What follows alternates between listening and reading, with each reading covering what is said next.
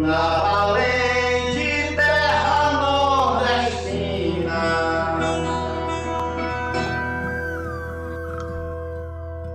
A iniciativa de degolar os cangaceiros partiu do aspirante Ferreira de Melo. As cabeças foram salgadas e postas em latas de querosene, com aguardente e cal. Foram exibidas pela primeira vez como troféus, enfeitadas com belos adornos, cartucheiras e punhais. Em seguida seguiram para Maceió, sendo expostas na Praça Velha da Cadeia, onde verdadeira multidão disputava o melhor lugar para assistir à cena.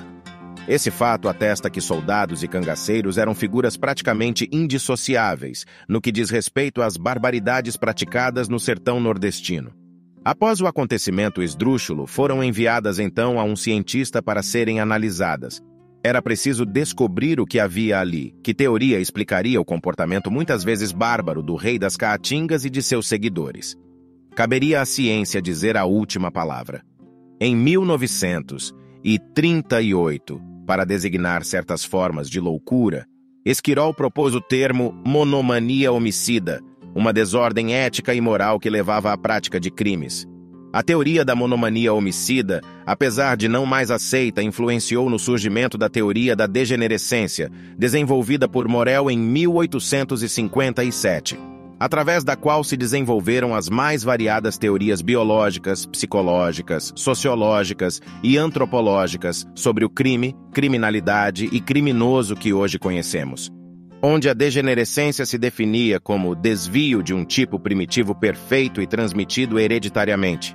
Os termos preconceituosos usados em relação aos sertanejos, fruto da miscigenação de índios, negros e brancos, agora pretendiam ter fundamento científico, partiam da degenerescência para explicar que, à medida que se sucedessem as gerações nervosas, gerariam neuróticos, que produziriam psicótico, que gerariam idiotas ou imbecis, até a extinção da linhagem defeituosa. Nesse contexto surge o escritor italiano César Lombroso, criador de uma antropologia criminal, que relacionava crime e degeneração. Lombroso acreditava no criminoso nato, cujas características manifestar-se-iam no fenótipo do indivíduo, essa teoria ganhou espaço entre legistas e psiquiatras, que tentavam identificar marcas somáticas para o crime, dentre elas citamos a fronte fugidia, proeminências ósseas, assimetria de face, caninos exagerados, mandíbulas possantes, proeminência occipital, orelhas em abano, o tubérculo darviano de regressão ao macaco. Medir e estudar crânio eram uma obsessão da época, vários cangaceiros tiveram suas cabeças decepadas e enviadas a médico-legistas da Polícia Militar Alagoana em Maceió e à Faculdade de Medicina da Bahia para serem submetidas à cefalometria e à análise destas características. No Brasil, o médico maranhense Raimundo Nina Rodrigues deu enormes contribuições à psiquiatria, medicina legal e antropologia que estudavam as composições genéticas e comportamentais dos afrodescendentes e defendia que a loucura era um produto estrutural das raças e classes inferiores, instituindo um pensamento etnocêntrico como modelo de normalidade social. Contribui para a classificação das sociedades em normais e anormais. Nina Rodrigues buscou cientificamente criar regras que avaliariam indivíduos cujo comportamento fosse doentio, além de decidir quanto à sua imputabilidade penal e, principalmente, sugerir meios preventivos para evitar a loucura e o crime. A ideia da degenerescência lombrosiana como causa da doença mental passou a ser vista pelos estudiosos modernos como retrógrada e ultrapassada. Era preciso abandoná-la. Surgiam assim os deterministas sociais, para os quais o meio, com seus fatores sociais e geográficos, seria suficiente para explicar a criminalidade. Mais uma vez, o livre-arbítrio, a personalidade e os motivos do criminoso eram desprezados. Nesse sentido, afirmava o professor Arthur Ramos.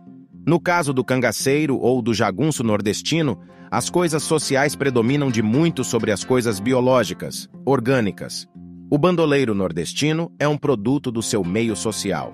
Para Euclides da Cunha, o homem dos sertões está em função imediata da terra, sendo a perfeita tradução moral dos agentes físicos da natureza que o rodeia. Ela talhou a sua imagem, bárbaro, impetuoso e abrupto. É um retrógrado e não um degenerado. Por mais de um século, houve apenas uma substituição de uma ideia determinista por outra. Inicialmente, as constituições genéticas e hereditárias eram determinantes absolutas. Posteriormente, foi a vez do determinismo moral, onde o indivíduo podia já nascer degenerado. Em seguida, o determinismo psicológico pregava que as maneiras da pessoa reagir era imutável. E, finalmente, o determinismo social, onde as circunstâncias sociais empurravam invariavelmente a pessoa para o crime.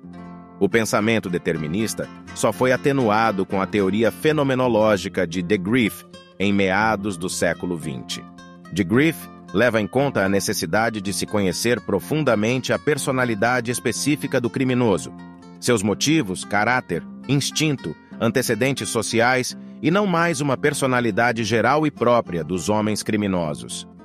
Debuis trouxe o conceito de periculosidade, o qual incluía três elementos: a situação perigosa, a importância sociocultural do ato cometido e, de volta, a personalidade criminosa.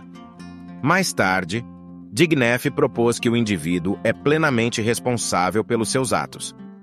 Hoje, as principais teorias psicológicas da criminalidade poderão ser agrupadas em dois grupos, um deles centrado nas diferenças que caracterizam a personalidade criminosa, específica do criminoso e determinador do ato delinquente, e outro, o da análise do percurso do indivíduo na sociedade, sob o ponto de vista fenomenológico.